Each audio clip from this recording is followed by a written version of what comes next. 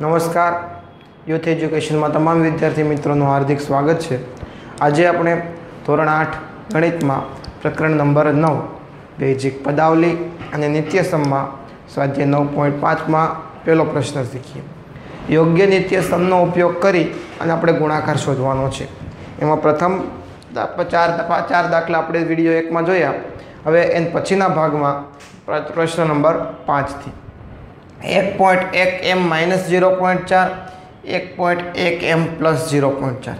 બંને પદમાં આપણે પદ જોઈએ તો સમાન છે, ફક્ત ફરક એ છે કે અહીંયા માઇનસ છે અને બીજી જગ્યાએ પ્લસ છે. તો એની જગ્યાએ આપણે એક નિયમ જાણીએ છીએ કે એ પ્લસ બી અને એ માઇનસ બી હોય તો તફાવતના અવયવ પ્રમાણે આપણે વિસ્તરણ કરીએ તો પહેલા પદનો વર્ગ માઇનસ બીજા પદનો વર્ગ. આ નિયમ પ્રમાણે સાદુરૂપ થશે. તો અહીં આપણે પહેલું પદ કયું છે? તો કે એક પોઈન્ટ એક એમ છે. તો પહેલાં પદ એટલે કે એક પોઈન્ટ એક એમનો વર્ગ માઇનસ બીજું પદ એટલે ઝીરો પોઈન્ટ ચારનો વર્ગ. એક પોઈન્ટ એક એટલે કે અગિયાર. ઘડીક આપણે પોઈન્ટ ભૂલી જઈએ તો અગિયારનો વર્ગ કેટલો થાય? એકસો એકવીસ. એમનો વર્ગ એટલે એમનો વર્ગ. પોઈન્ટ પછી એક અંક છે. પરંતુ વર્ગ છે એટલે એનો પણ એક અને એક બે અંક થશે. તો બે અંક પછી આપણે પોઈન્ટ મૂકી દઈએ. એટલે એક પોઈન્ટ એકવીસ, એમનો માઇનસ પોઈન્ટ ભૂલી દઈએ એટલે કે ચારનો વર્ગ સોળ. પોઈન્ટ પછી એક અંક છે એટલે પોઈન્ટ પછી બે અંક આવશે એટલે આપણે અહીંયા ઝીરો પોઈન્ટ સોળ થશે. ત્યારબાદ છઠ્ઠો.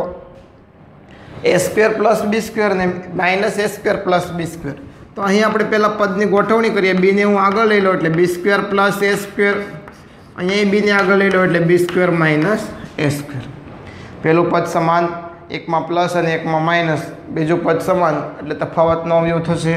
તો પહેલા પદનો વર્ગ એટલે બી સ્ક્વેર છે એનો પાછો વર્ગ. પછી બીજા પદનો વર્ગ એટલે એ સ્ક્વેરનો વર્ગ.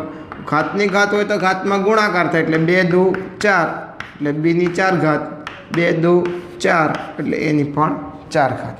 ત્યારબાદ આગળ વધીએ. સિક્સ એક્સ માઇનસ સેવન ને સિક્સ એક્સ પ્લસ સેવન પહેલું બીજું પદ સમાન છે નિશાની ફરક છે.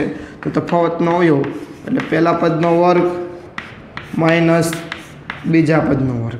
છનો વર્ગ છત્રીસ, એક્સનો વર્ગ માઇનસ સાતનો વર્ગ ઓગણપચાસ. ત્યારબાદ આઠમો. અહીં minus A plus C, minus A પ્લસથી બંને પદ સમાન છે. સમાન પદ હોય તો આપણે જાણીએ છીએ કે એ પ્લસ બી આખાના વર્ગ પ્રમાણે વિસ્તરણ થશે.